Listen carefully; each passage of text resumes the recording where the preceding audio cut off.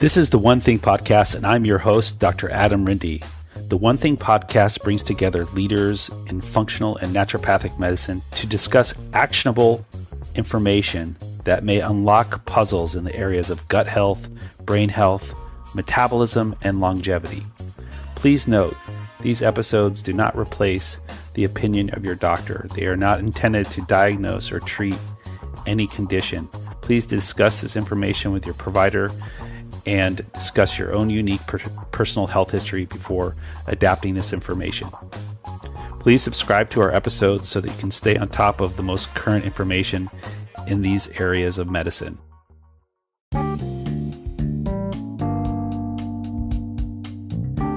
Welcome to this episode of the One Thing Podcast. This is a highlight of my career. I get to interview Dr. Mark Pimentel from Cedars-Sinai's gastroenterology division. He has been someone who's been instrumental in my career. I'm so delighted to bring him here to you. We just had a delightful conversation uh, talking about many things, such as the last five years of Dr. Pimentel's career and how his research and SIBO and irritable bowel syndrome has influenced him in the last five years. We talk about things such as what it was like to treat IBS back when he first started his career over 27 years ago. We go into some of the latest topics such as uh, hydrogen sulfide, SIBO, intestinal methane overgrowth, and how methanogenesis is produced. We talk about stomach acid and how that relates with IBS we talk about the connection between bile acids and IBS. We go into post infectious irritable bowel syndrome and dis- explore what's involved with that scenario and how post infectious IBS is evaluated. Um, we go into many of the research the research about specific species that are now being associated with different forms of IBS and SIBO. So there's three subtypes where we've identified the keystone species that are involved with these imbalances. And that's exciting news for all of us who are helping patients with irritable bowel syndrome and SIBO and trying to help them get their life back and get to feeling more well. So this is a, was an really instrumental conversation in understanding 2022 and where we're at in the in the research. And um, I hope you enjoy this episode. For those of you who are dealing with SIBO or IBS, I think you'll find this information current and useful. And for those of you who are treating these conditions, I think you'll find Dr. Pimentel's information something that you can apply right away in your clinical practice. So, without further ado, welcome to the next episode of the One Thing Podcast.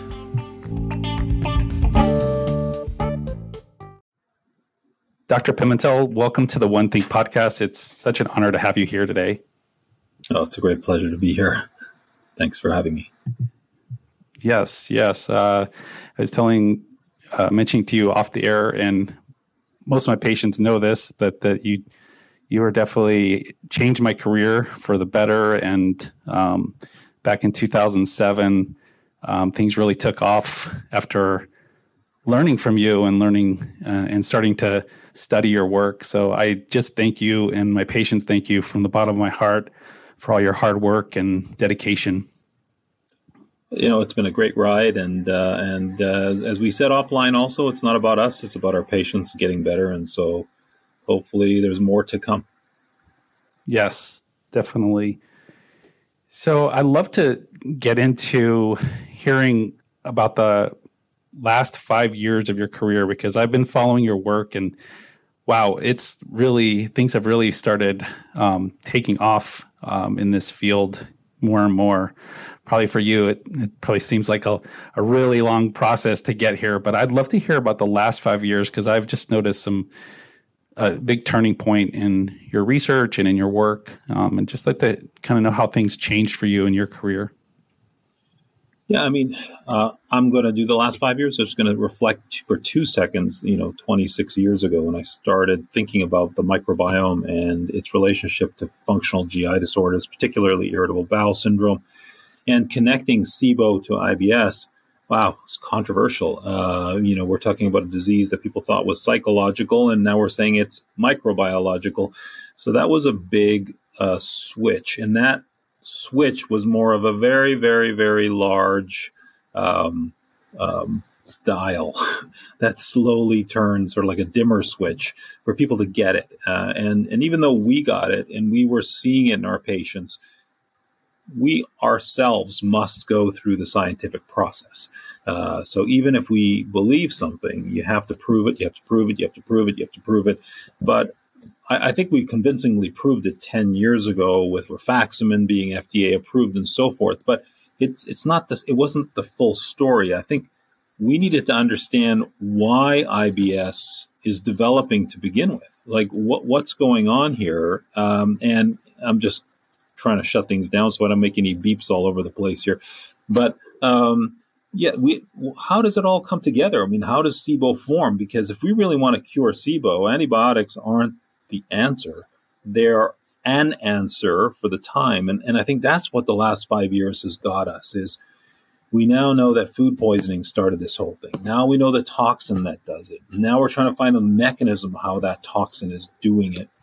And then by putting that together with the SIBO, uh, I think that's that's huge. And then the sequencing that we've been doing to try to identify because people say, well, okay, you already proved it's SIBO, you already proved it's SIBO, but no, it's not like that. We're now down to three or four strains of organisms that are specifically involved in SIBO. Once we get to that level, we're done. We now know the bad actors, and and when we know the bad actors, it's going to help us with treatments uh, immensely and we needed to know where they live and we needed to know who they are. Now, same thing with the methanogens. We're now understanding that there are different strains of M. smithii that are producing methane, and some are producing it differently than others. So it just opens up new avenues for better treatments that are going to work longer term. So sorry for the long answer, but but it's it's really been uh, eye opening even in the last five years. Yeah, yeah, and you know, I think one of the, some of the highlights that I've really learned a lot from from the last five years. One of them being the IBS Smart Test. I don't know if that it preceded five years, but that was like a big uh, game changer um, to have that tool, and then adding um, the Trio Smart Test with the ability to test for hydrogen sulfide, and now um, some of your latest work on highlighting understanding methanogenesis, I mean, it's it makes us really uh, be able to have um, good conversations with our patients and educate them and and develop strategies to help prevent recurrence of these conditions.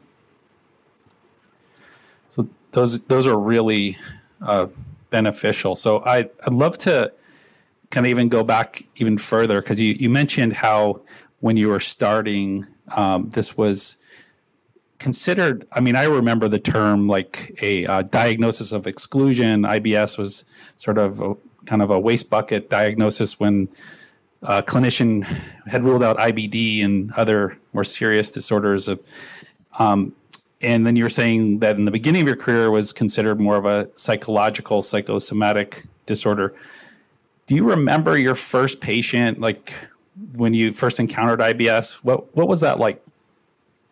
Well, I'll give you two case examples. Um, one of them was this this fifty-ish year old gentleman who um, had IBS, was told he had IBS, had been around the block with probably eight or nine gastroenterologists, and we saw him, did a breath test, as primitive as it was at the time, and positive, and we treated him with neomycin. Didn't have rifaximin or any of the new stuff, and he came back he had had it for 20 years and he was angry um, because he says, I can't believe in 10 days you fixed something I've been suffering with for 20 years. Right.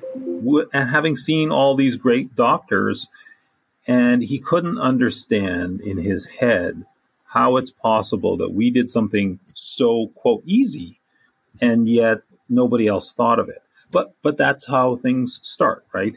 Um, the second example was actually a 65 year old woman who's, again, had had IBS for a couple of decades or so and had been around the block, same story. But this time, again, remarkable 90% improved. But on her second visit, she came in with a brown paper bag. True story. And she literally, in front of me, dumped the bag on the table and she says, This is the stuff they've all given me these years. I don't need the antidepressants anymore. And there was four of those in there. I don't need the the antispasmodic, etc., etc. The bag was just full of pills from doctor previous doctors.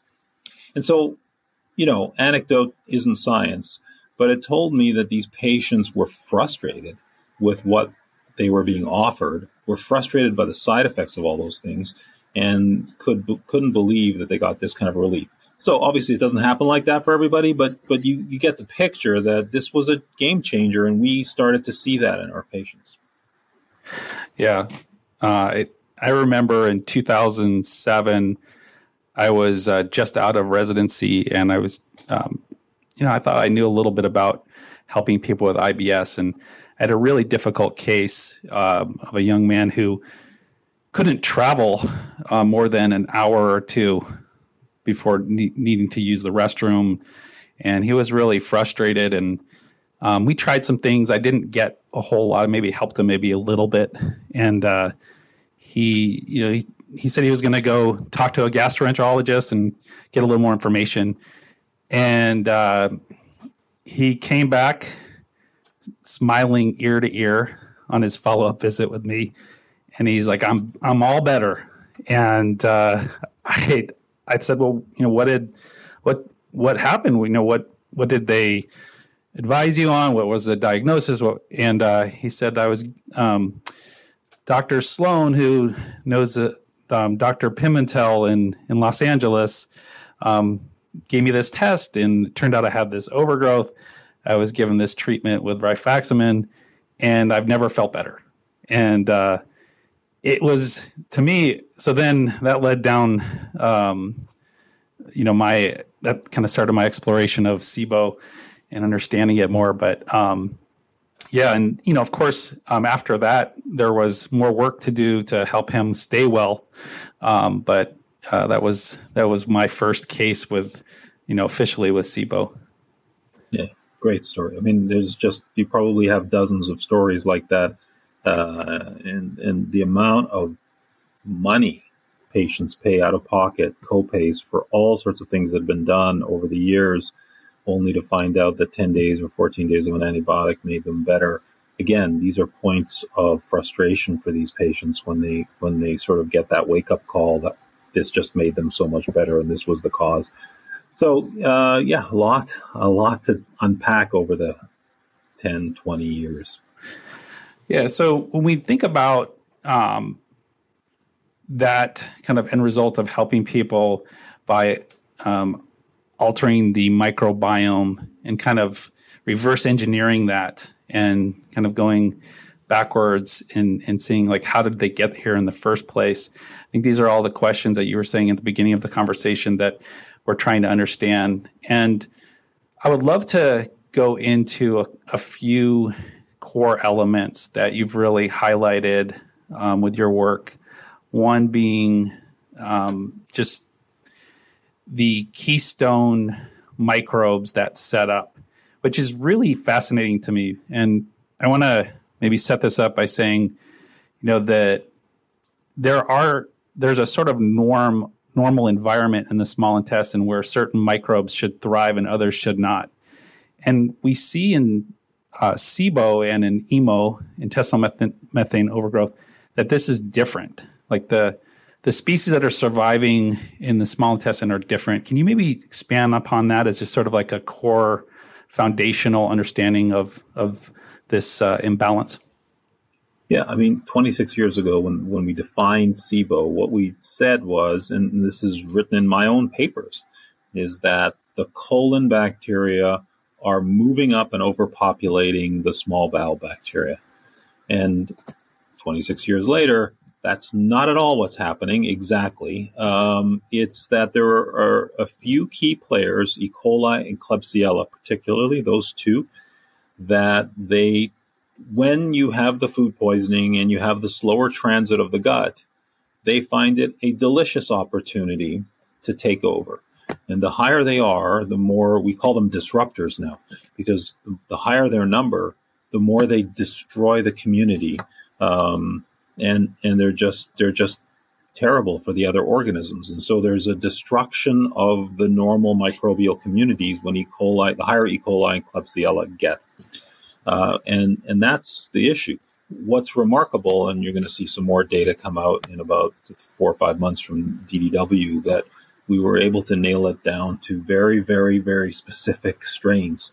Uh, so basically, we know the exact organisms, not just it's e- e- Escherichia or E. coli. We know the exact E. coli, uh, and and that's going to be huge. But the point is, it's amazing that if you think about the microbiome, it's a thousand different organisms. In the small bowel, maybe it's five or six hundred, and two or three characters are taking up forty percent of everything.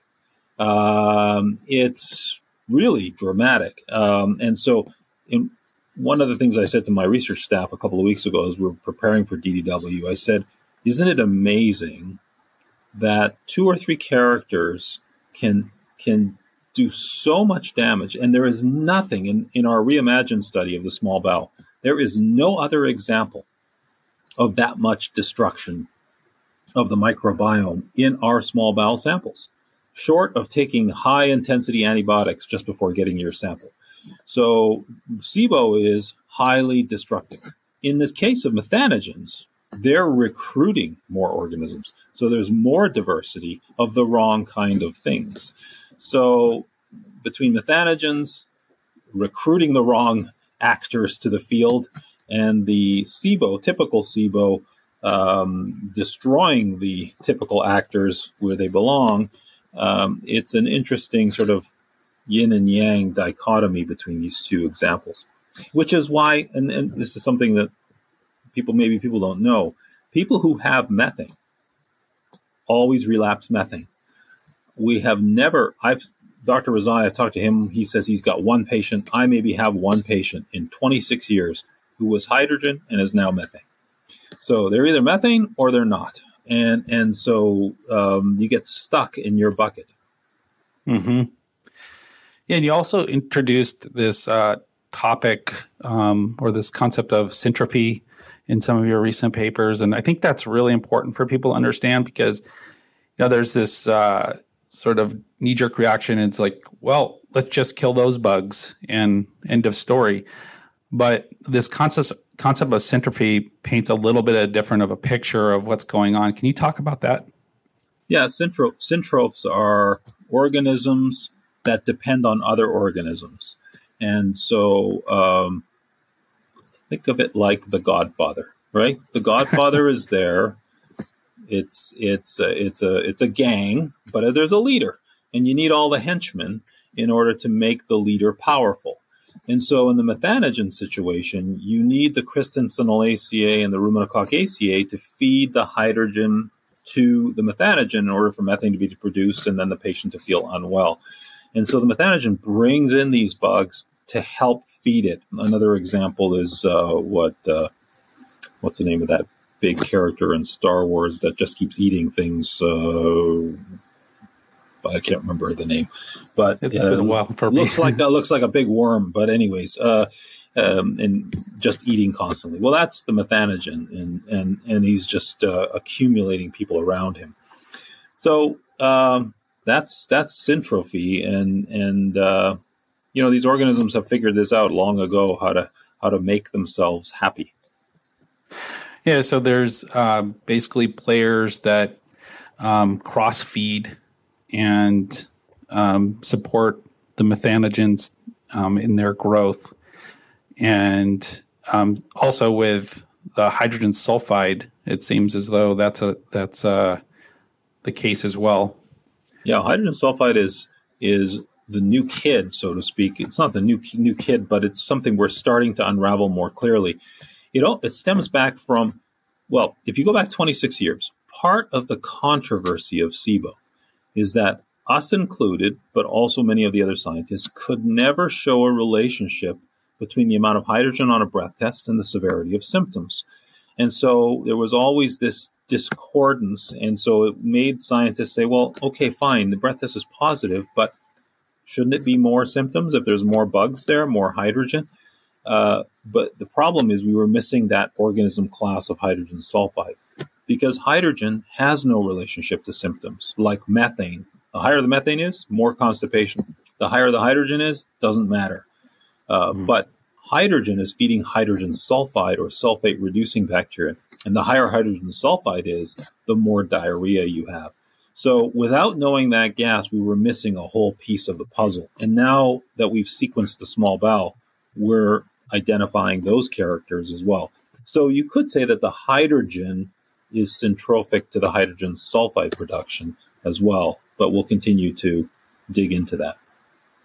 Yeah, so going into that a little deeper, I, have seen in some of your recent papers a highlight of um, Ruminococcus species being uh, present and a key a keystone species in methanogen patients, and I think there's maybe one other organism that's been highlighted. Um, it's interesting because I know that I've messaged you so many times about methanogenesis because it's sort of my uh, the bane of a lot of our patients' existence and difficult, challenging. Um, it's interesting that Ruminococcus is uh, is, from my understanding, one of these like starch feeders. Um, so I, I'm, I'm, kind of fascinated to hear what you're if if learning about Ruminococcus changed any of your thinking about methanogenesis. Yeah, so the two families are Ruminococcaceae, of which Ruminococcus is part, and Christensenellaceae. Again, they're they're carbohydrate feeders, as you point out. Uh, they are intense hydrogen producers. So you'll say, well, but when you have methanogens or when you have methane, your hydrogen is actually lower because the methanogens are extremely good at picking up hydrogen and running mm-hmm. and producing methane, eating it all up. But they are they are really doing um, they're they're really ch- channeling the food products to the methanogens. One of the things we see, uh, and maybe this sort of creates a different controversy about your question, is that if you have methanogens and this carbohydrate digestion. So, for example, if you eat a piece of lettuce, humans don't digest lettuce, but these guys might be able to break it down and then liberate calories that go to you. And so we do see when methane's present that people tend to be heavier in weight or more obese. And so by having this ability to digest food products that normally humans don't digest and providing that, that methane, think, think of it this way. Cows do not eat grass. That whole notion cows eat grass, cows do not eat grass. Cows put grass in their stomach and the bacteria of their gut and the methanogens eat the grass. Then the yeah. cow brings that up, chews the bacteria, and gets the calories from the bacteria. So cows do not digest grass. Um, and I think the same thing is happening in some humans where we're getting calories that we wouldn't have otherwise been capable of of liberating because of these organisms. Problem is, we're sitting at our desks, got the bagel room across the hall, potato chips on our desk, and candy, and we have meth- methanogens who and their and their syntrophs who are just very good at getting calories from that stuff. We're not living on the you know the plains hoping for a kill today, you know. So it's uh, it's a different environment. Yeah, it's uh, it, it's really interesting to know you know a little bit about what's driving up that much hydrogen. Um, you know, it's just and the other thing that was fascinating that I saw in, in some of your recent work was that uh, perhaps the lower the stomach acid, the less methanogenesis. Um, that that was uh, fascinating because there's all these naturopathic and integrative and functional medicine, you know, sort of is a, a big uh, promoter of healthy stomach acid. It was, I think, it was really enlightening to learn that um, we need to be careful about that. Well, yeah, I mean, sodas, although that's not endorsed by anybody, uh, have a lot of acid. A lot of acid containing foods, like fermented foods, are acid containing. Um, you know, people are giving betaine, HCl, or hydrochloric acid to people, hoping that it will reduce bacteria, but in fact, it could be doing the opposite, as you say. So, hi- methanogens can use hydrogen in many forms. It can get it from ammonium. It can get it from just acid. It can get it from acetate. It can get it from um, you know, the hydrogen gas itself. So, so there are many ways and creative ways that methanogens can get can get hydrogen. So, in fact, if you're giving hydrochloric acid, you may be encouraging bad things among your methanogens. However, getting rid of acid sometimes makes that less. So uh, it's it's interesting what we learn as we continue to explore. Yeah, yeah. Uh, so, um, and then just to round out the conversation, um, a little bit about Klebsiella and Escherichia coli and its association with hydrogen um, hydrogen positive SIBO, um, and then also Desulfovibrio species with uh, the hydrogen sulfide um, positive SIBO. Can you talk a little bit about that? Yeah, so um, this new breath test, as you mentioned, the Trio Smart breath test measures all three gases. and what we see is that um, using the breath test, we're actually able to mimic or understand three microtypes in the gut. This was a paper that just came out. So there's the hydrogen microtype, which is mostly bloating, a little bit of change in bowel function. There's the methane microtype, which is the stuff we've been talking about, but more constipated. And then there's the hydrogen sulfide microtype, which is bloating, but more diarrhea and more severe mm-hmm. diarrhea. And we see that the hydrogen sulfide on the breath test predicts the sulfate reducing bacteria like Desulfovibrio and Fusobacterium in the bowel. Uh, and and so we're able to see that the breath test is in fact matching what we see in the microbiome of the human and the condition of diarrhea or constipation or bloating. And this is the first time we're able to see that transparently by by just measuring breath testing. Uh, and uh, that that's a super important study and uh, hopefully very convincing that breath testing is really important in clinical practice. Great, thank you. Yeah, so I've I've seen in some of your recent work that you've been incorporating um, your recent research, I should say, incorporating stool testing to help make some correlations or predictions, um, like the uh, 16S RNA testing, sequencing testing. Can you uh, let us know just a little about where we're at with using that as a, a to complement um, our physical exam, history taking, um, breath testing. It, is that a is that a piece that we might see be added to the kind of evaluation of an IBS patient? Yeah, I mean, they're they're let me say it delicately. Uh, because there's a lot of stool testing out there and a lot of stool testing based on the microbiome. I am not saying that any of that stool testing is wrong. What I'm saying is that we still don't understand all the nuts and bolts of it. Um, so I can't even today with any of the science tell you for sure in that patient whether that level of M. smithii is the level that causes constipation versus positive methane on the breath test. We've had some work done in that area, and we think the cutoff is 10 to the 4. But some people say, well, any M. smithii is bad. That's absolutely incorrect. We know M. Smithii is ubiquitous. Almost everybody has a little bit of it, mm. and it's necessary and good, and may even be anti-inflammatory. We've got one paper saying that higher M. smithii means lower TNF levels in, in the circulation, meaning it's good for you.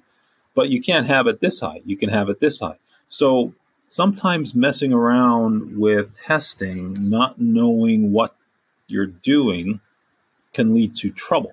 We've had some patients where we drop the methane methanogen so low they start having diarrhea. So.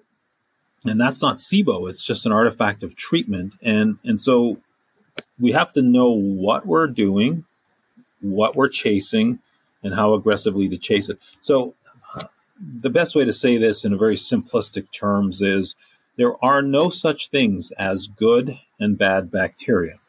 Mm. There is such thing as a balance. And and knowing that balance is the trickiest part of this whole thing that we haven't gotten there yet. So mm-hmm. Uh, methanogens are not bad if they're in the right numbers. E. coli and Klebsiella are not bad if they're in the right place and the right numbers, and they may in fact be necessary. Uh, and so let's figure it out and then decide how to handle it, and that's what we're trying to do. Makes a lot of sense. So another pillar, you know, kind of moving on to other aspects of this pathophysiology that ends up being IBS or SIBO or IMO is um, the migrating motor complex. Um, and, you know, I think that's a big pillar of treatment and prevention of reoccurrence. Can you talk about any new updates that you've learned about um, the uh, migrating motor complex and uh, how we're thinking about it in 2022? Yeah, I mean, I think it's very clear from a number of studies, not lately, but these are a little bit older studies, that a lack of migrating motor complex equals um, SIBO. Uh, not IMO, not but SIBO. And uh, so it's important to know that just by changing the bacteria, you're going to make people better. And you're going to, they're going to be better for a while. But that lack of cleaning wave, which we think starts from food poisoning, is related to the anti CDTB and antivinculin antibodies to some extent. But that lack of cleaning wave is what's going to bring their overgrowth back.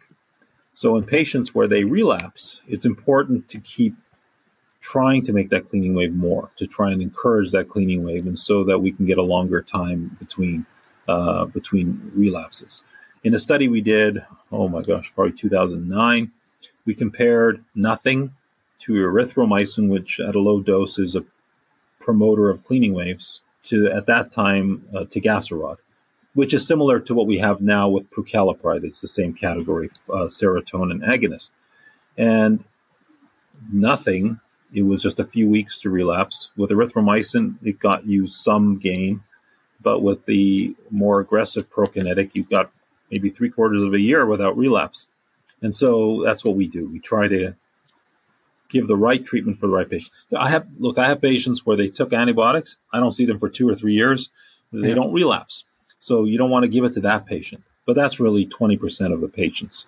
Uh, the rest of them need something. Yeah. That makes sense. And along those lines are another pillar that um, we talk about is bile acids. And, um, you know, I, I think one of the first times I got introduced to the importance of bile acids with SIBO was a paper that incorporated rifaximin in combination with guar gum. Mm-hmm. Um, it was like a combo treatment. And I think the proposed mechanism was that it somehow pulled bile acids into the bile acid metabolism into the treatment to help um, address the SIBO. Uh, I know you've been looking at bile acids recently. Can you share anything about that for? Yeah, I mean, bile acids are extremely complex. Let me start with that. Uh, somebody did a um, mass spec of stool from humans for bile acids and found over a thousand different bile acids. Whoa. so uh, I, it's almost a 10 years of study over the next 10 years to try and figure out what's going on exactly. But in general, bile acids are soap for the gut. So they're soap to help uh, absorb fats. And they uh, create these sort of uh, little cells of, of material to bring fat into the body and other, other products. But bile acids also, when they encounter bacteria, certain bacteria, methanogens do this, have bile salt hydrolases that can change the bile salts into nasty bile salts. And some of the nasty mm. bile salts are irritating and can cause diarrhea. That's called bile salt diarrhea. Um, but in the terms of guar gum, it could have two effects. It could be bringing bile in, like a soap, encouraging bile production. And by doing so, it's like a soap, cleans the bowel a little bit, and, and that's helpful. Uh, but the bacteria, if it converts the bile acids to bad bile acids, that's a bad thing. So sometimes it's a it's so you can get one or the other. Um, and the other thing that guar gum does is guar gum is, is sort of like a fiber, so it can feed the bacteria, and fed bacteria are easier to kill. So if you're feeding the bacteria, then instead of being on these restrictive diets, you have a higher chance of getting rid of SIBO because uh, bacteria who are starved are in hibernation. Sometimes they form spores. Sometimes they form specialized membranes to prevent themselves from dying while they wait for food. I see. Yeah, and so there's another big division of um, IBS, which we call it's called post-infectious IBS, and I think 2014 um, was the first time I think one of your updates talked about really um, drilling down the potential mechanism with um, Campylobacter jejuni and um, how that leads to antibodies against vinculin and the development of the IBS SMART test. And it, you know, when diagnosing a patient with post-infectious IBS, um, how how has that conversation changed? Because I, I know the conversation I was having with people in 2014, and I imagine it's much different now. Um, now that you've had, you know, seven or eight years of of data. Yeah, I mean, the first few patients, there was a patient who came to my office. Literally, she was in tears because her doctors told her she was crazy, that this is not a real disease, that there's nothing that we know that causes IBS. And then here she gets a blood test that says it was food poisoning. And she's like, Well, that's what I've been telling my doctors. I had food poisoning ever since then. I haven't been well. And now you have a test that affirmed my what I've been telling the doctor. So, I mean, again, there's always stories behind this. But what's remarkable and will continue to be remarkable as you'll see in the coming months, we're now able to create these animal models where we just give them the toxin CDTB and the animals develop SIBO. They develop the three microtypes, hmm. just like humans, and, and all the changes in the lining of the intestine that are typical of IBS. And so it's it, this has truly been a really important part of the story. The question is, how do we get those antibodies out of your blood to cure you? Yeah because if we do that, we think we can cure you uh, and as a patient, and that's our real focus for the next five years, uh, because that could be the game changer, like just curing the patient and maybe indefinitely. Yeah, yeah. It's. Uh, I think the one thing that I always point out to people with who had you know have IBS and you know sort of we're entertaining this question of post-infectious IBS is that it's not like you go to Mexico get food poisoning and come back and then IBS starts up. It's usually like a a start, a stop, and then a delay, and then the IBS kicks in. Right? Is that still the current thinking? So that's that's exactly what we see. Is we see this um, you get the CDTB going up right away, and the patient starts to get symptomatic. But food poisoning, it's really severe diarrhea. And then after about a week, it seems to settle. And then gradually you start to get these symptoms. Of course, the food poisoning symptoms are here, the IBS symptoms are here, but normal's down below the screen. So um, it's never as bad as the food poisoning. But the, the point is, that you get it's like this and then down and then this up again as a second cycle where the IBS just lasts indefinitely. Uh, yeah, and the an- and antibodies match that, so it's pretty interesting. Yeah, I think that in the IBS Smart test also has in my in my patient population um, helped people make a decision of whether you know they have IBS or if they should pursue further testing with you know colonoscopy or other more um, pathology that's related to like IBD. So it's it's been a, it's been really good from a primary care standpoint too. You know, just to. Um, well, the, I think that's oh. I think that's where that the IBS Smart should sit is in primary care because the thing about and we've known this for more than 10 years is that a primary care physician if they have somebody with constipation in their office they're pretty adept at and they're not going to be adept at IMO, intestinal methanogen overgrowth, but they're going to be adept at treating constipation, and they're not stressed out about constipation.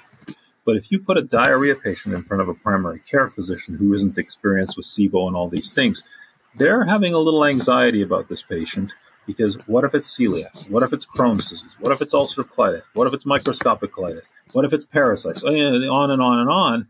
But if you did the test and it's positive, you're done. It's IBS, treat. Uh, and and I think that's where the patient will get benefited faster and less money to the healthcare system if you can do it at that stage. And your yeah. doctor, the doctor's comfortable. He says, "Okay, it's IBS. It's, it's not likely to be anything else. Let's move on. Let's try some IBS therapies rather than being stressed." Yeah, yeah. It reminds me, I when I was just getting further into you know wanting to make gastrointestinal gastrointestinal disorders more my specialty. I went to a board review course um, just to sit in for like three or four days of docs getting ready for their board reviews. I, I signed up for the conference, and the the um, the SIBO portion was like five minutes. I was I was so disappointed, and uh, the constipation versus diarrhea component was a very long segment, and even the the teacher said, you know, think about constipation and diarrhea a little bit like sitting on the middle of a boat. Like, you know, if, if you're going to rock the boat, if it's rocking one way, you move the other way. and uh, there was kind of like diarrhea versus constipation treatments, and then you know, SIBO was. Uh, but that was that was a long time ago. I'm sure it's changed. That was maybe ten years ago.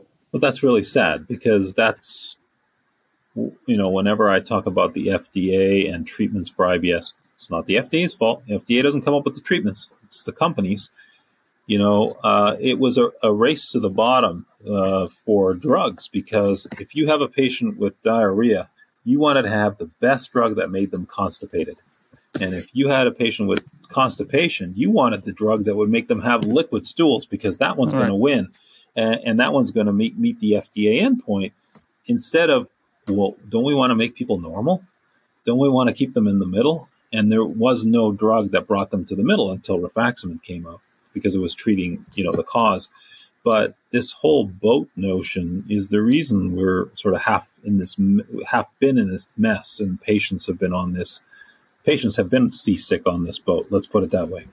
Yeah, yeah, yeah. It's. uh I'm glad we're you know able to have conversations i mean i think people who are really into functional digestive disorders are you know really thinking deeply and you know sitting in front of patients who are suffering with this it's it's often a um, it's often like a, a, silent suffering that a patients have because nobody um, really understands them um, and understands the extent of what it's like to have a digestive tract that's really out of balance.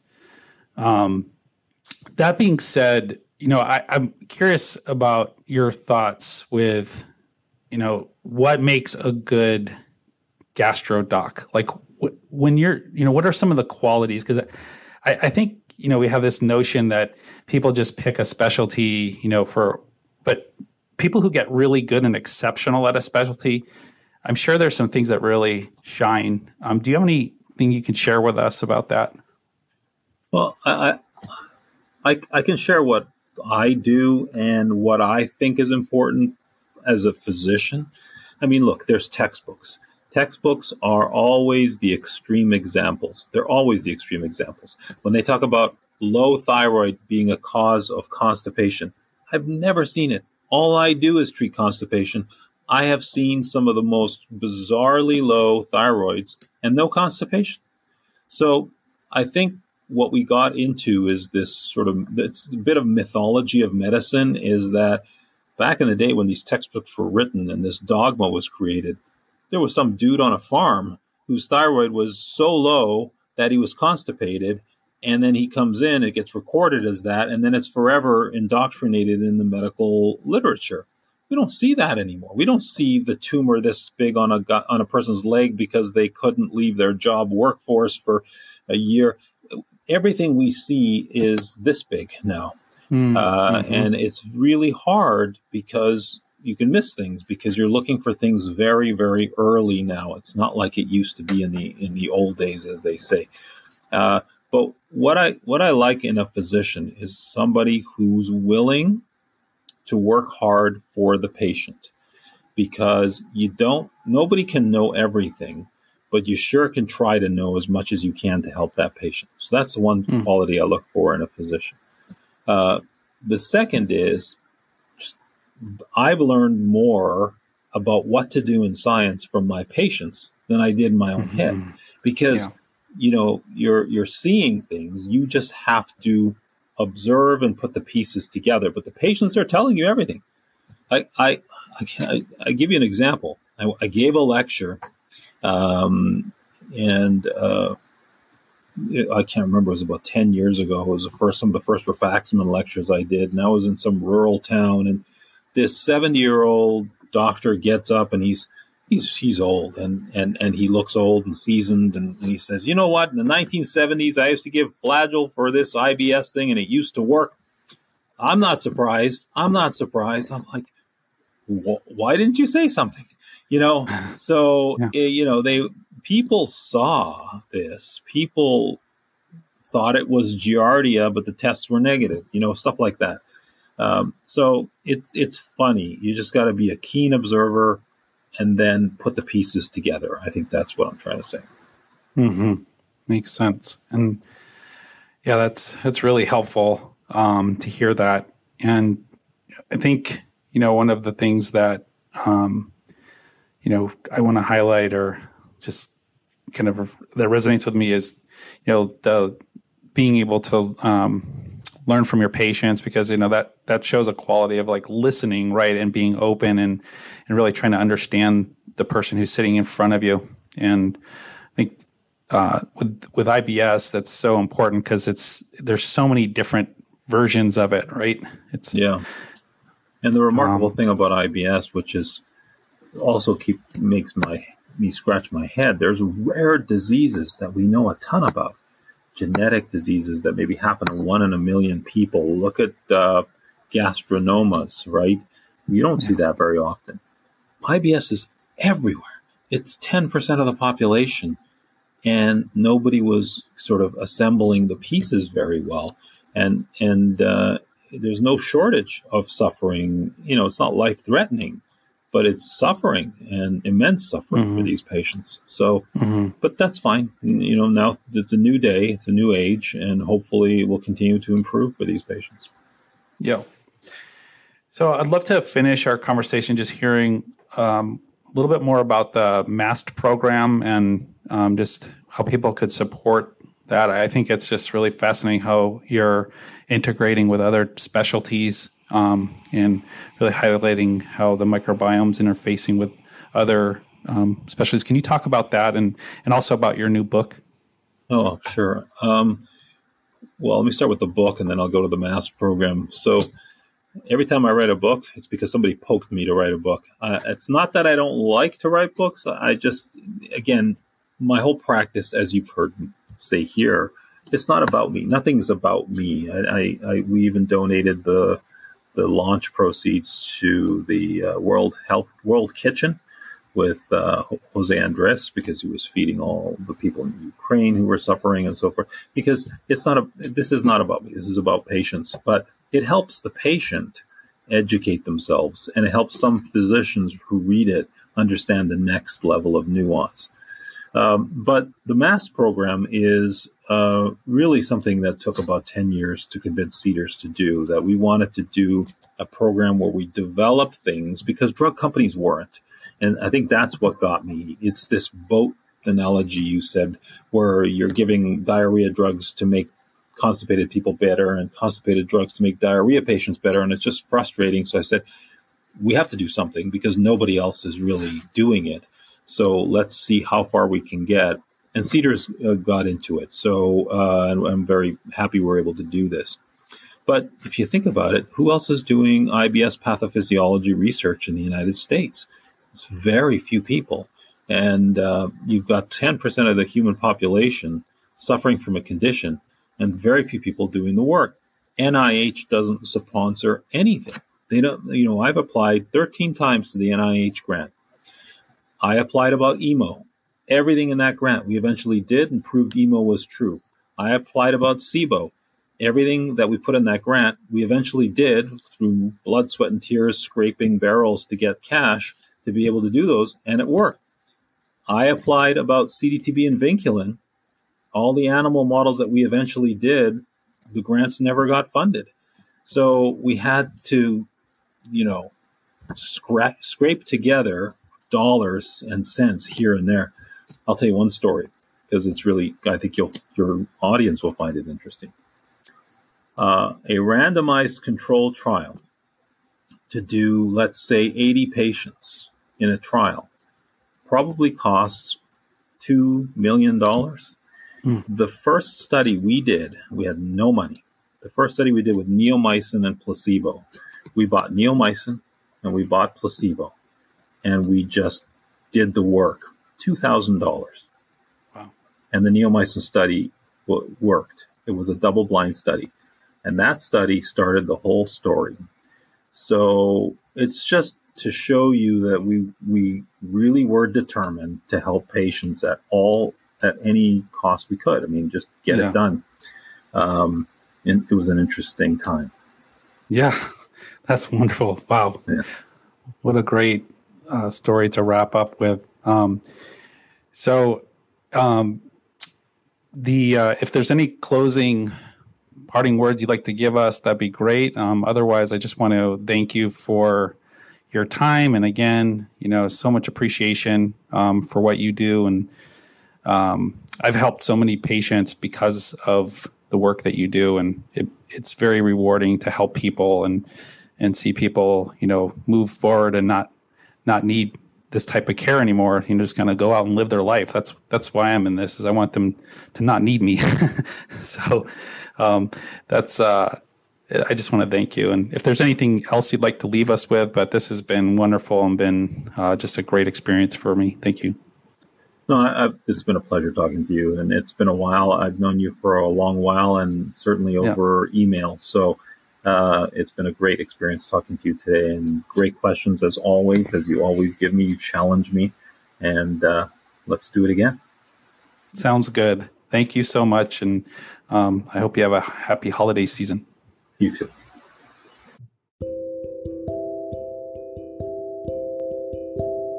Thank you so much for tuning in to this week's episode of the One Thing Podcast. Please share these episodes with your friends, loved ones, colleagues, patients, healthcare providers, anyone who you feel might benefit from hearing these informative interviews. We tend to learn best from people sharing things with us. That's often the first time it's introduced. So don't hesitate if these the content of these episodes reminded you of someone that might benefit from that. Forward the the episode to them and I'm sure they'll either appreciate it or be appreciative that you've thought of them. So once again, we'll look forward to seeing you next episode on the One Thing podcast. And again, much appreciation for you being here with me.